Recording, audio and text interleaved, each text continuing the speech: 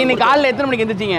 அஞ்சு மணிக்கு. அப்பா சூப்பர் வாங்க உங்களுக்கு பெட்ரோல். நல்ல கேள்வி இல்லை இது? ஃப்ரீ பெட்ரோல் கொடுக்க போகிறோம் நீங்கள் சிங்கிளாக கமிட்டடா சரி சிங்கிள்னால போட்டு சுத்துங்க. கமிட்டட்னா போடாம சுத்துங்க. ரஜினிகாந்த் இருக்கா தெரியுமா? அவரோட முனைப்பெயரா அது அடப்பெயரா? அது என்ன சொல்லுவாங்க? இளைய தளபதியா?